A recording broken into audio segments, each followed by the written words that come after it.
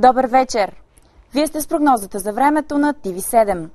През нощта над северо България ще има плътни облаци и ще прехвърча сняг, а в Дунавската равнина все още ще е ветровито.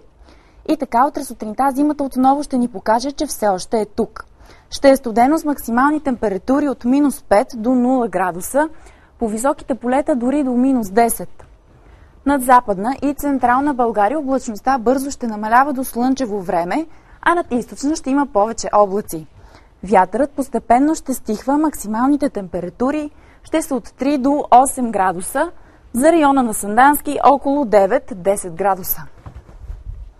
Над планините облачността ще намалява до слънчево време. Повече облаци ще има сутринта над Родопите, а през по-голямата част на деня над източна Стара планина и Странджа.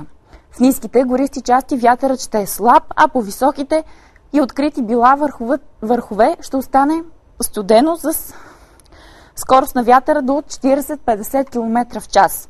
На връх Мусала дневната температура ще остане под минус 12 градуса, а на Ботев до минус 11, на Черни връх до минус 9.